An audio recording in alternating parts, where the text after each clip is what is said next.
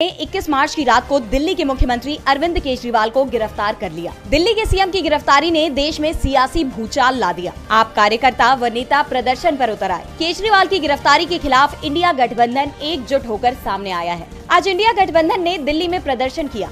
तो वहीं जेल से केजरीवाल का संदेश लेकर मुख्यमंत्री की पत्नी सुनीता केजरीवाल ने मीडिया से बातचीत की। उन्होंने केजरीवाल का लिखा खत पढ़ा, जिसमें मुख्यमंत्री ने लिखा कि भारत के अंदर और बाहर ऐसी कई शक्तियाँ हैं जो देश को कमज़ोर कर रही हैं। हमें सचेत रहकर इन शक्तियों को हराना है। दिल्ली की मेरी माँ बहनें सोच रही होंगी कि केजरीवाल तो अंदर चला गया। पता नहीं अब महीने का हज़ार रुपया मिलेगा या नहीं। मेरी माताओं और बहनों से अपील है कि अपने भाई और बेटे पर भरोसा रखो। ऐसी सलाखें नहीं जो आपके भाई और बेटे को ज़्यादा दिन अंदर रख सके। मैं जल्द बाहर आऊँगा और अपना वादा पूरा करूँगा।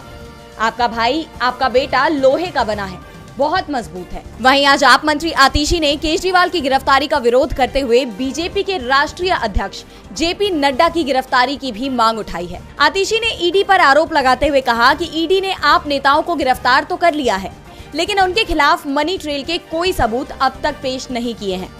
और जहाँ मनी ट्रेल के सबूत सामने हैं, वहाँ कार्रवाई को भी तैयार नहीं है।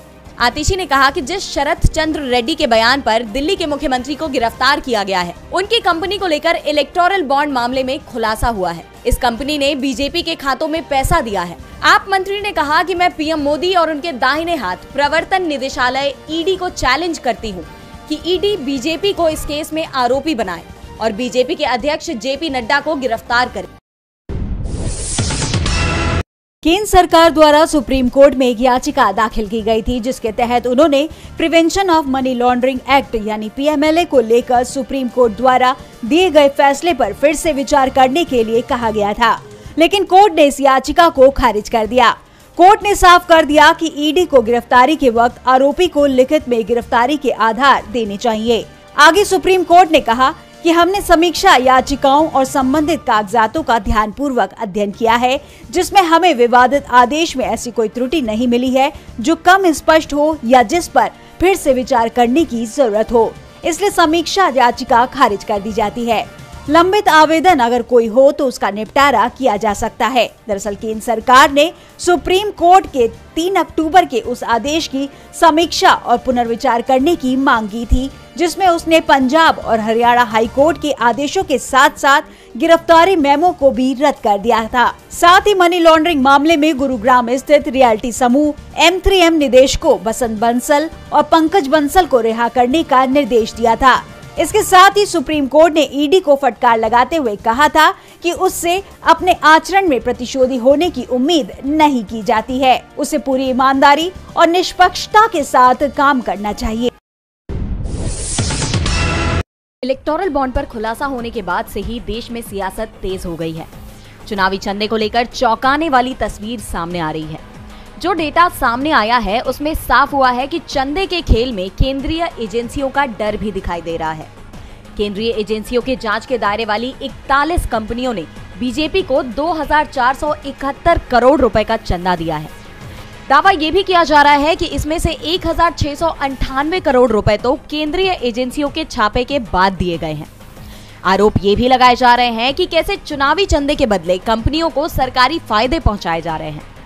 मामले में वरिष्ठ वकील प्रशांत भूषण ने मीडिया से बात करते हुए कहा कि कम से कम 30 शेल मुखौटा कंपनियों ने 143 करोड़ रुपए से अधिक के चुनावी बॉन्ड खरीदे हैं। उनका दावा है कि 33 कंपनियाँ जिन्हें सरकार से एक सौ बहत्तर प्रमुख कॉन्ट्रैक्ट और परियोजना की मंजूरी मिली है, उन्होंने भी चुनावी बॉन्ड के माध्यम से दान दिया है। मामले में Megha engineering and infrastructure limited का नाम सबसे ज़्यादा चर्चाओं में है। चुनाव आयोग द्वारा जारी चुनावी चंदे की रिपोर्ट के अनुसार 2019 में कंपनी ने कुल 130 करोड़ के बॉन्ड खरीदे जिसमें 125 करोड़ रुपए का चंदा बीजेपी को दिया है।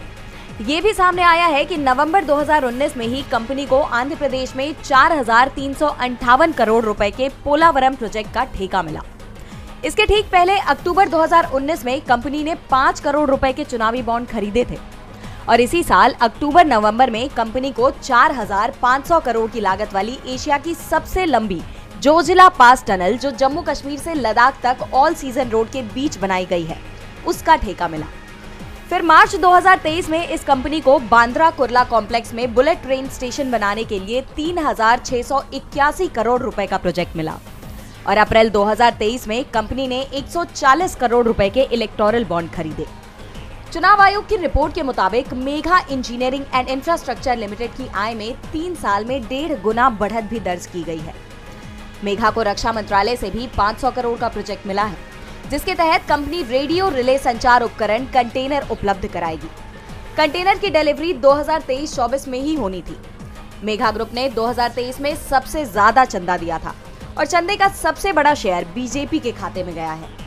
इन सबूतों के बिना पर बीजेपी पर मेघा ग्रुप को फ़ायदा पहुँचाने के आरोप लगाए जा रहे हैं। कई कंपनियाँ तो ऐसी भी हैं जिन्होंने मुनाफे से कहीं ज़्यादा चंदा दिया है। सबसे ज़्यादा एक हज़ार तीन सौ अड़सठ करोड़ रुपए चुनावी चंदा देने वाली फ्यूचर गेमिंग का शुद्ध मुनाफा। 2020 से 2024 के बीच महज 215 करोड़ रुपए ही था। चुनावी चंदे मामले में बीजेपी बुरी तरह से उलझ गई है। बीजेपी के लिए इन आरोपों को नकारना अब इतना भी